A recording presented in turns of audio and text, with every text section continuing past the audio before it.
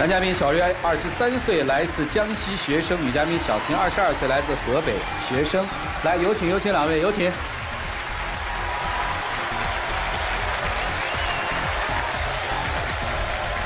欢迎两位啊！应该是大学同学对不对？是大学同学，是一个班的吗？不是，呃，谁追的谁？是我追的他。啊，为啥追人家？当时就是一起出去玩，也是在一个学校啊，就后来认识了，感觉他人也特别好，嗯，当时也特别乖。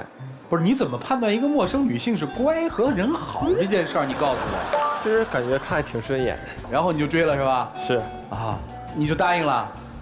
我本来也觉得他特别好。啊，他哪儿好啊？他挺高的，我觉得跟我很般配，个头看起来。哦，他挺高的。然后呢？然后他追我的时候也很真诚，就是百依百顺，然后就在一起。今天谁要来的？是我要来的。他快把我逼疯了，什么事都管着我，我也不想跟他在一起。他要跟我闹分手，你同意了？我不同意。啊，那先说他怎么逼你的？他就是无论大事小事，我都得跟他说啊，哪怕上个厕所也得跟他说一声，要不说的话，他就一个一个电话打过来。那我这不是关心你吗？你就是平心而论吧，就我们在一起将近两年，你就说我对你怎么样？我对你是不是挺好的？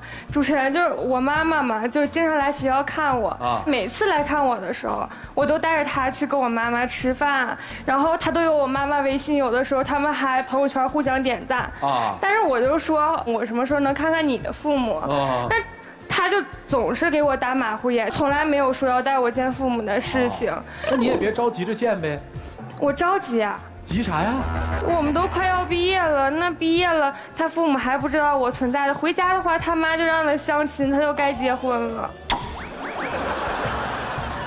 他总是说这些相亲之类的，啊，那根本就没有的事儿。那你父母知道你谈恋爱了吗？他知道，但是我没具体说，因为他这个脾气比较暴躁。什么脾气？你不说他乖吗？刚开始我还觉得挺乖的啊，但是后来相处之后，感觉他这个人特别霸道。完事儿不讲理，你我哪儿我哪儿霸道了？你说。你看，你看现在你看现在特别霸道啊，总是真不讲理。我没怎。你温柔点你说你说。好，你说。哎，不霸道，很温柔，你说吧。哎，他先前脾气特别好的时候，我就感觉这姑娘挺好，但是后来我发现他根本就不是那个样子，也也是总是欺负我，完我对她欺负你的。就当成一种欺负我的理由，比如说，比如说前几天吧，他就说要学游泳啊，我说那行，那一起学吧。刚有两，这我是知道你是游泳，这别人不知道还以为你去喝水去了呢。不是游泳呛水不是很正常吗？但是我俩每次游的时候，他总是学不会。不是他现在就开始笑话我了。那要如果要是你刚追我的时候，那你就肯定得安慰我，就是说你这呛水了以后咱不游了。你现在就开始笑话我，然后还说我学不会，还说我笨。就还说我这有水标，这不都是你说的吗？那你看你都不会游，你就别学呀，是不是？我又没强迫你。哎，等等，你刚才说他特霸道是吧？对，特霸道。我怎么觉得你挺霸道的？对他变了，对吧？你看啊，我们来分析一下这事儿，特有意思。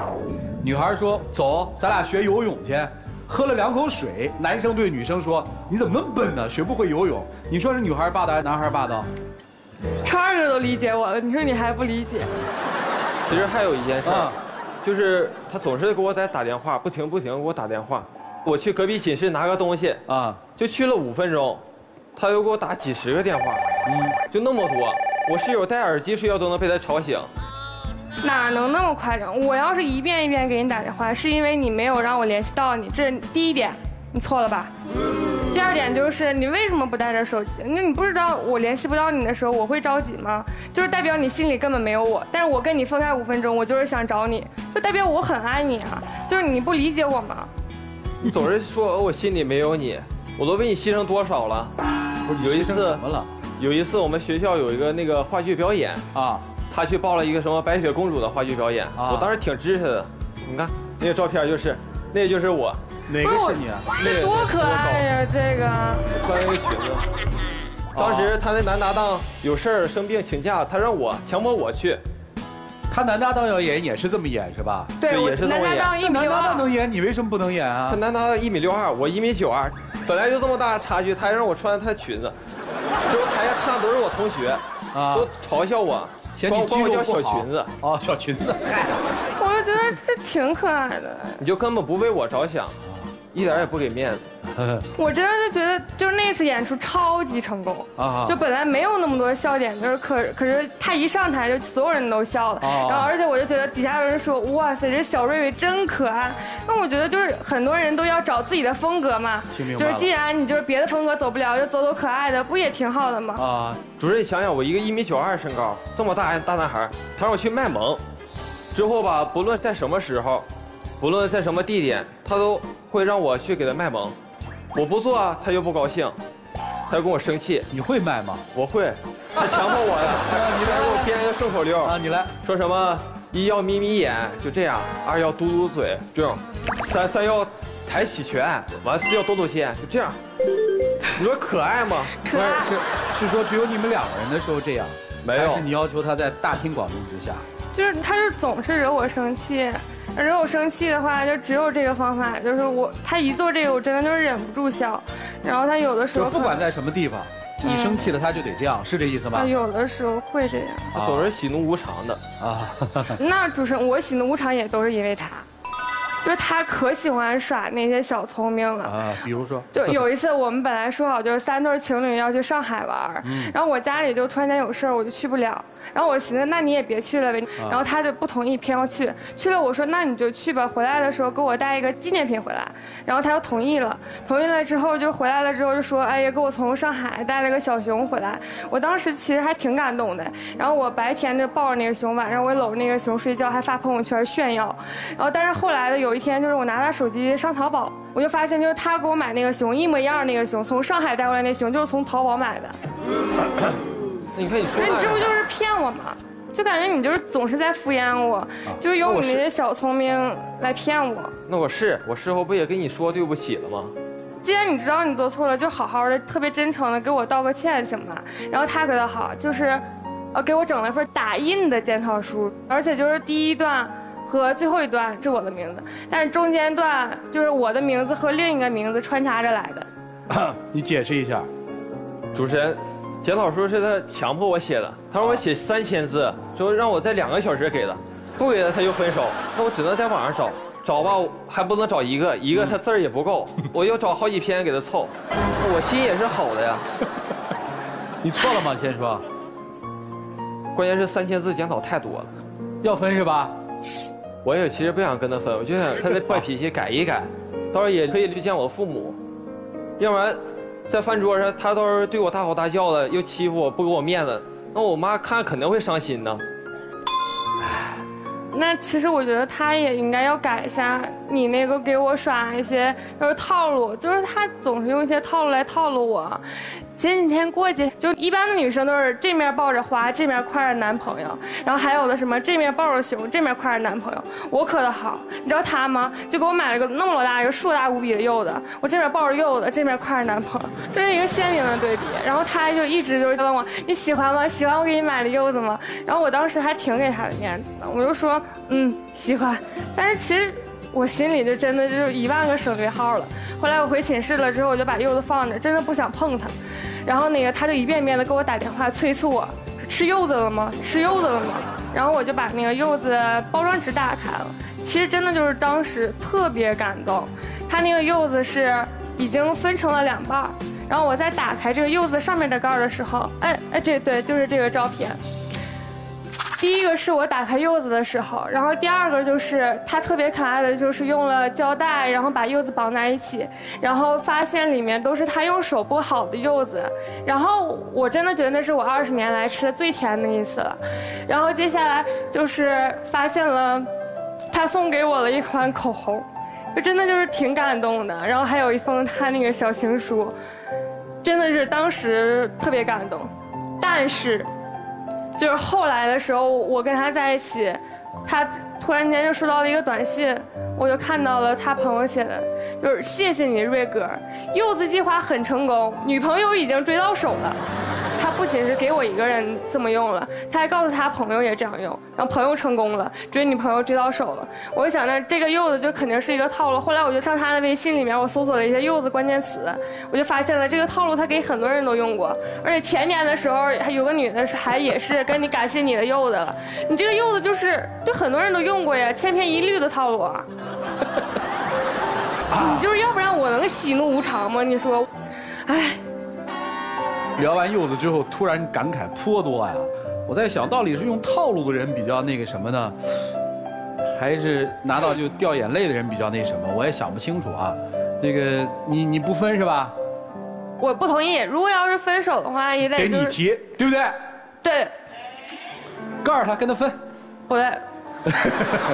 来吧，看看老师们怎么说。一起进入丘比特问卷。一个套路啊，你要不发现啊，就是感动；发现了，你就变成生气。是为什么呀？就是因为我觉得我发现不了的时候，就是他这个就不是套路啊。关于套路这件事情啊，是这样的，就是有爱的套路叫用心，没有爱的套路叫欺骗。所以，分辨一个人是不是套路这件事情，不用拧巴，不用纠结。如果这个套路的前提是因为这个人喜欢我，哪怕他是从别的地方学来的，那还是用心，愿意学嘛。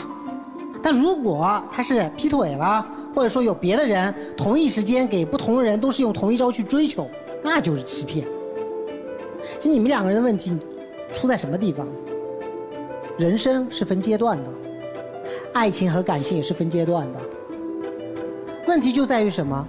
你一直沉浸在你们的热恋期当中，但是你又要求他去做一些和婚姻相关的事情。你希望他给你安全感，但你给他安全感了吗？这种安全感不是你有没有人追或者有没有男朋友，你给他关于你可以成为一个好妻子、好太太的安全感了吗？有没有？没有。你纠结的是你在爱情当中，你这个男人有没有给我足够的安全感？他纠结的是，你现在要我带你去见爹妈，那么你究竟从什么地方表现出，你已经做好做一个妻子的准备了呢？你还沉浸在那个白雪公主上个台，啊，那个朋友之间卖个萌，婚姻没那么简单。所以我觉得你们两个人应该坐下来好好讨论一下，关于未来我们应该怎么走进婚姻，应该做哪些准备。你们好好的以一个成年人，我们将来要结婚这样一个态度，相互深谈一次，最后再考虑要不要去见爹妈，好吗？嗯，啊好，就这样。好，谢谢陆琪老师。两位好，我觉得我刚才听你们的。你说他套路，其实你比他更套路。你说什么柚子，里边是套路。你那三千次的检讨书，你的什么四招卖萌方式，那不是套路吗？有的时候表面上看上去你们很相爱，其实不过是他在配合你。男人们精湛的演技都是女人逼出来的。你要看，我就演给你看喽。但总有一天演到最后不想演，或者是演不了了，那到那个时候，请问你怎么办呢？所以，所有感情生活当中非套路、非人为的那种默契，和彼此的不经意的付出，才是最美的。在这个世界上，没有谁是你量身定做的产品，每个人或多或少都会有问题。总有一些是你所不满意的地方，和你性格矛盾的差异。我们要做的不是去弥补这些矛盾的差异和那些不完美的地方，因为不完美就是完美的一部分。当彼此之间产生一些矛盾和差异的时候，这恰恰是生活的乐趣。很多夫妻之间过了一辈子，彼此之间依然有这样的矛盾和差距，但是到头来谁也离不开谁。我这么说你，并不代表你是没有问题。其实，如果你觉得有些东西是有失我男生尊严的，你可以直白的跟他说：“我不干。”你要我穿着小裙子逗你玩，我可以在家里跳给你看，但在外面，我不干。你可以直白的告诉他。所以说，当你可以一昧的去妥协。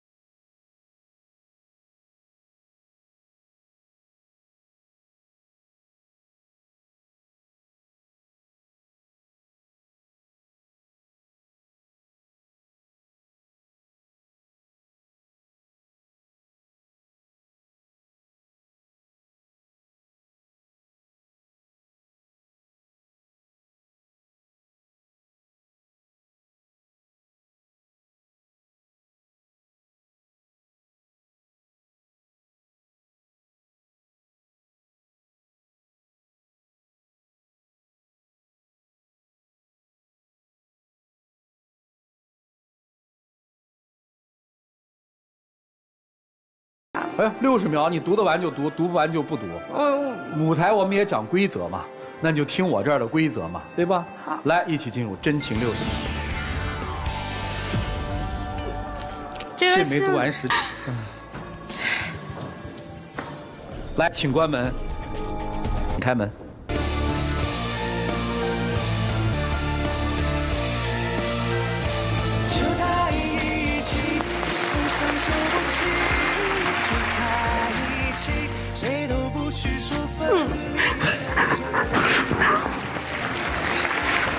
来来来，有请小花童啊！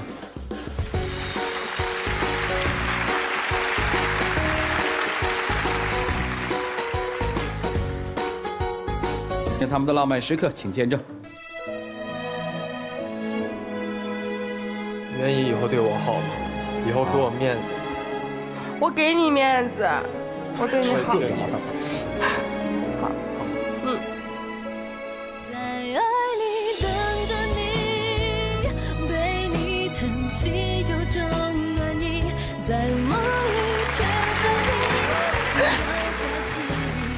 来来来来来，送给你们。谢谢。